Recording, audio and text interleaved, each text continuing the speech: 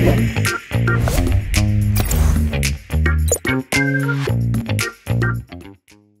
luxury brand Hermes has been passed on to generations since it was founded in 1837. On the one hand, it has followed the laborious work of the artisans in his workshop, and on the other hand, it has followed the lifestyles of its clients. Hermes keeps a high level of sensitivity and attention to how society and its needs are always changing. This is made possible by a strong spirit of freedom and creativity. But before Hermes came to be what it is today, it all started with a boy who lost everything he had and slowly built himself from the ground up. Welcome to LuxLife. And when it comes to luxury and lifestyle, we've got you covered. Today, we're going to talk about the story of the young man who founded the Hermes brand. But before we begin, don't forget to hit that like button and subscribe to our channel. Feel free to click that notification bell to receive updates and be the first to check out our latest videos. Now, let's begin. On January 10, 1801, Thierry Hermes was born in Krefeld, a town near Dusseldorf.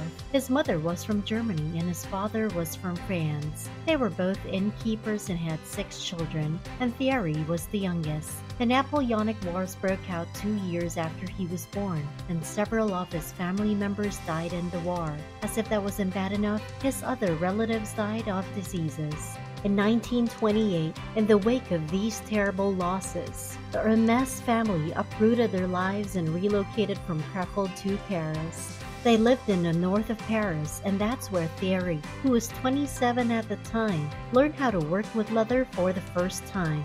Three years after relocating the family, Thierry and his wife were finally blessed with the birth of their first child, a son named Charles Emile. The boy would soon become the heir to a business empire, but it won't happen yet because there is still no empire established. Even though Thierry didn't have an easy childhood, he grew up with a strong drive to succeed. The business empire's humble beginnings started in 1837 in Paris when Thierry built a workshop. This event marked the beginning of the brand's journey to greatness. In the beginning, he recognized and anticipated the demands of his consumers, specifically their desire for ease and lightness in the midst of a city that was bustling with modern activity.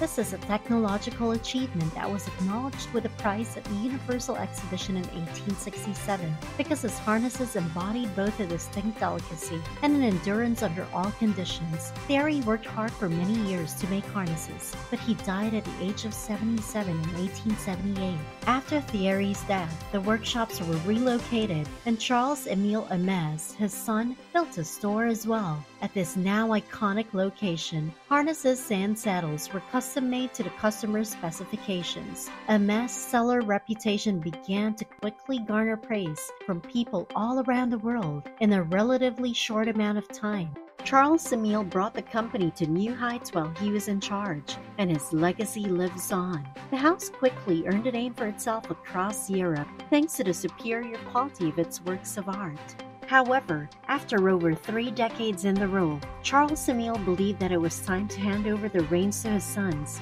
Adolphe and Emile Maurice. They changed the name of the business to Hermes Frères, and together they worked to increase its prominence on the international scene.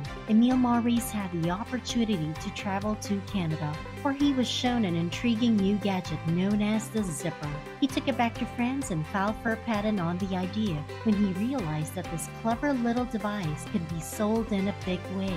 He was the first person in France to do so, and by the late 1910s, the brand had produced the first pieces of apparel and handbags to include the zipper into their construction. Emile Maurice's sons-in-law, Robert Dumas, John Rene Guérin, and Francis Puech, joined him after the Zipper's success, each bringing their own talent and vision for the company. By 1914, Hermes was providing the Tsar of Russia with saddles, and the business employed up to 80 saddle makers. The company's sales of horse harnesses and equipment began to fall in 1919 when Adolphe opted to depart, with his brother Emile purchasing the company. Then, in 1922, leather handbags were made for the first time after Emile's wife said she couldn't find one she liked. In 1925, they grew even more and made the first ready to wear pieces of clothing for men. In 1927, the brand started making jewelry. In 1928, it made watches and sandals. After 10 years, they came up with a silk scarf, which celebrities loved right away. Every product was a huge success, and it seemed like the brand couldn't be stopped. But then, Emile Maurice died, leaving his sons-in-law in charge. But Robert Dumas was the one who took over as head of the company in 1951. Robert was the first person who didn't come from the family to run the business so he knew he had a lot to prove. But soon enough, it became clear that he was the best person for the job. He made the horse and carriage logo, which is still used today. He was also behind many of the house's most iconic products, like the Chaîne d'ancre bracelet and the well-known Kelly bag. Hermes rose to even greater heights because of this bag. The brand was in demand by the world's elite and was brought into the public eye. During the 1960s and 1970s, Hermes continued to do well in business, but then it started to lose money because most high-end fashion started using more synthetic materials like nylon, polyester, and vinyl. Hermes insisted that only the best natural materials be used, but these new ones were a lot more expensive, which hurt their business a lot. Beginning in 1978, John Louis Dumas assumed control of the company. His family had a long history of creativity and ambition, so it was no surprise that John Louis showed the world how great their brand was and gradually introduced new ideas into the house of Hermes. He expanded the company's product offerings and gave it a simpler name, Hermes.